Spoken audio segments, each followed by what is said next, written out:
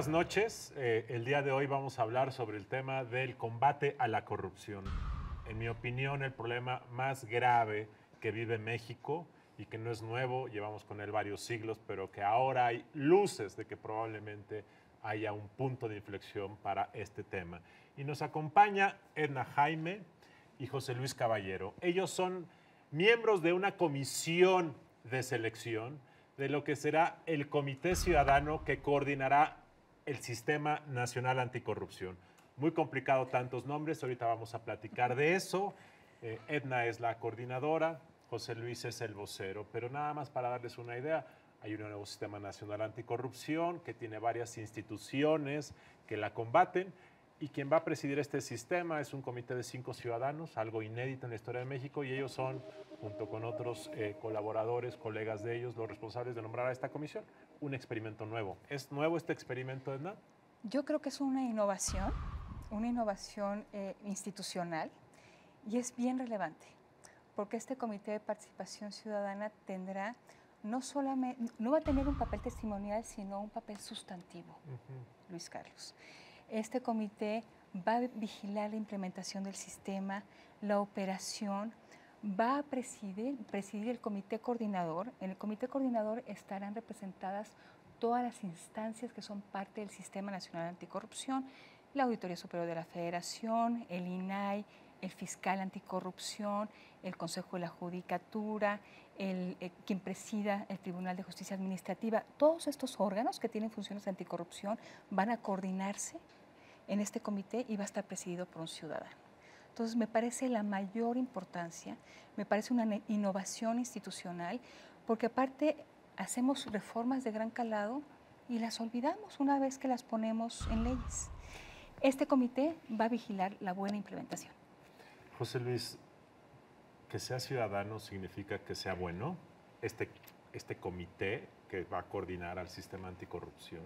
Significa una garantía Significa una garantía de gente que en un principio, de entrada, pues no va a tener vinculación con partidos políticos, hay un blindaje de eso, no va a tener intereses eh, con la clase política, ni, tendrá que haber ejercido funciones públicas en unos años, ni siquiera militancia en un partido político por cuatro años, mucho menos dirigencia o cargo de elección popular. Es un blindaje.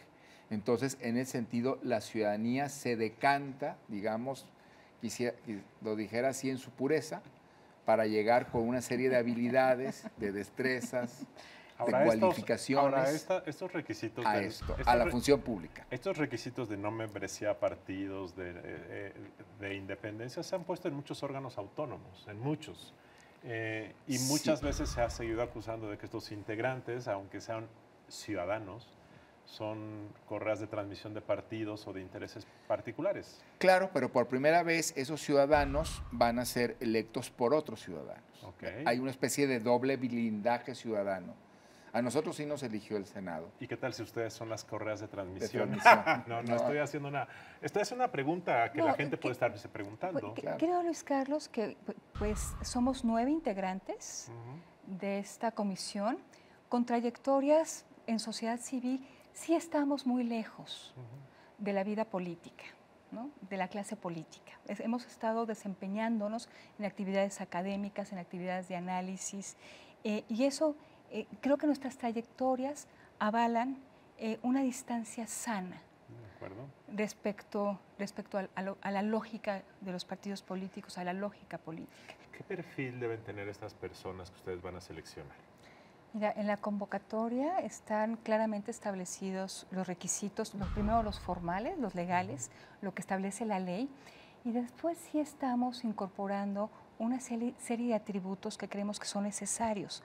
Como es un órgano que va a tener funciones sustantivas, sí necesitamos experiencia en temas de fiscalización, de rendición de cuentas, en gente que pueda entender el tema de contrataciones públicas, el sistema de justicia, que pueda darle seguimiento al trabajo de la, de la nueva Fiscalía Anticorrupción.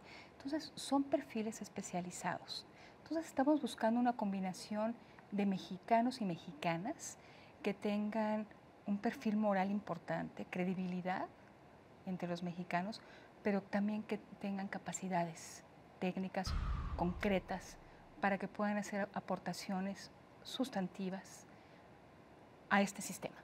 Sí, y eso yo diría además de lo que dice Ana con tres perspectivas que son muy importantes. Una perspectiva de carácter nacional, que eso lo pide la ley, pero nosotros lo tenemos muy claro, es decir, no, no podemos tener una mirada solamente centralizada en la Ciudad de México, sino en todas las experiencias también que desde las entidades federativas están haciendo en combate a la corrupción, a veces con esfuerzos pues todavía más, más comprometidos que los que tenemos aquí, con mayores posibilidades de incidencia por ser la capital del país.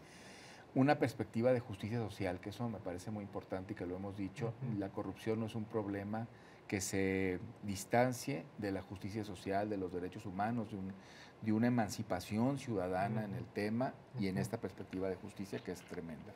Y la de género, eso nos lo pide la legislación y lo vamos a tener muy claro. Hay una, una, integración que tiene que ser con perspectiva y paridad. Aunque no nos lo pidiera. Aunque no nos lo pidiera, sí, claro. Lo digo porque tiene la sí, referencia, pero estamos claro. convencidos. ¿no? Estamos en la legislación se establece que estos cinco miembros del eh, Comité Ciudadano, del Comité de Participación Ciudadana del Sistema Nacional Anticorrupción van a recibir un honorario por desempeñar su cargo.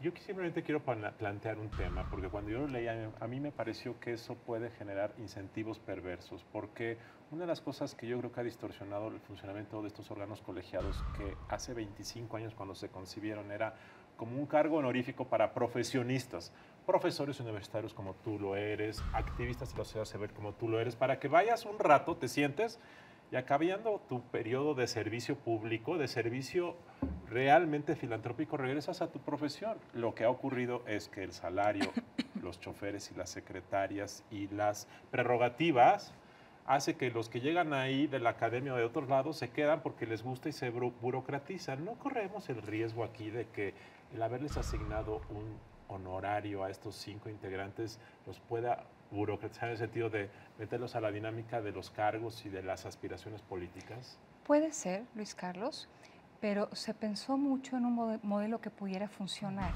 o sea, que, que pudiera retribuir el trabajo que van a invertir los integrantes de este comité, uh -huh. pero que no generaran esos, esos problemas, uh -huh. esos incentivos perversos uh -huh. o esas conductas indeseables.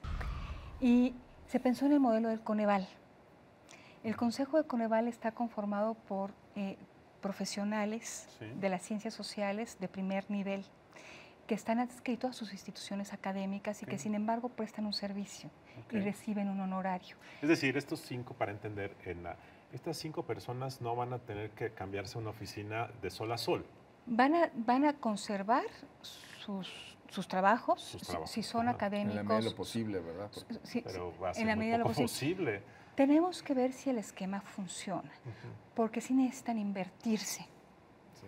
eh, profundamente, intensamente en esta actividad, porque lo va a requerir.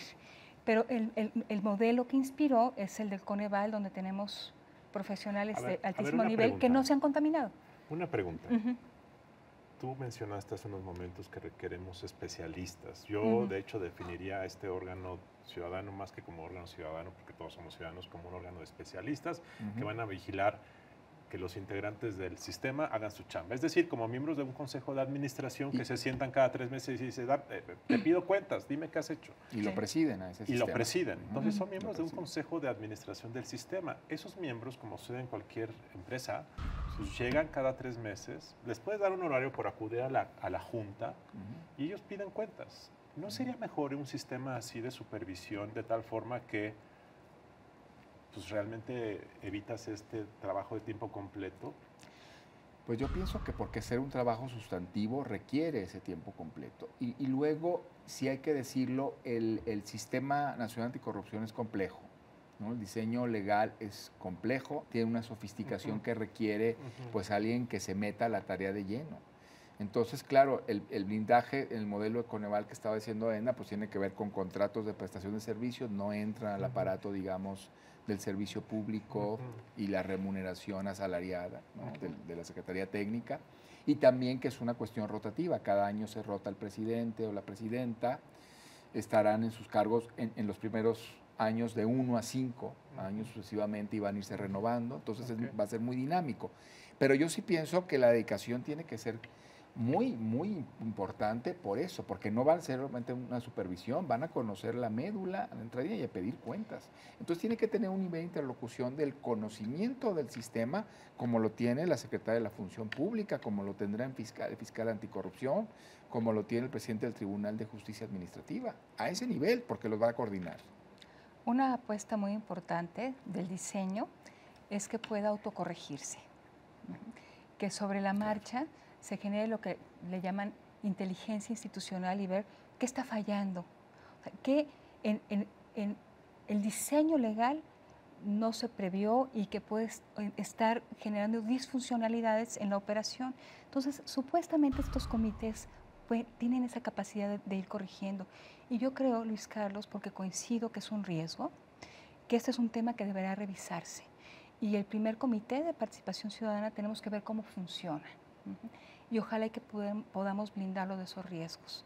Porque si caemos en esas lógicas donde se burocratiza perdón, y, entonces eh, eh, se reproducen patrones no deseables, yo creo que podemos perder potencia. Y luego, más que, permíteme que diga, que es un modelo que también va a ser replicado de alguna manera en los estados de la República. Cada estado de la República tiene que tener su propio sistema, digamos, anticorrupción, con su propio comité de participación ciudadana, que integren esa lógica, pues una red. Déjame tocar este tema. Yo, eh, a mí me parece sensacional que se haga este experimento de que un grupo de ciudadanos sin vinculaciones políticas nombren otro grupo de ciudadanos. Me parece un experimento inédito y me parece que puede ser muy exitoso. Yo lo único que advierto es la, es la naturaleza humana de que las, cuando se crean burocracias se generan intereses burocráticos. Tenemos que entrar con una legitimidad muy poderosa, muy fuerte, con una integridad en todos los componentes del sistema. El fiscal anticorrupción tiene que tener un pie muy claro ahí, tiene que tener conocimientos claros de procuración de justicia. Y unas habilidades enormes. unas habilidades enormes, pues es un tema... Con, un conocimiento del tema de la persecución criminal este, probada. O sea, por sí la agenda de la procuración de justicia es complejísima y problematizada. La agenda de la corrupción, del combate, eso es, y suma esos dos ingredientes. No, yo estoy de acuerdo completamente. Tenemos que buscar las mejores gentes. Ahí tiene usted. Estamos hablando sobre el tema de los mexicanos y mexicanas, ciudadanos, ciudadanas que van a encabezar este experimento inédito que es un cambio fundamental en la forma como se afronta el problema de la corrupción. Esta es la primera de dos programas. En la siguiente ocasión vamos a platicar del otro tema. ¿Cómo está este problema del cáncer de la corrupción? Por hoy ha sido todo. Edna, muchísimas gracias. José Luis, muchas gracias. gracias Nos vemos la próxima ocasión.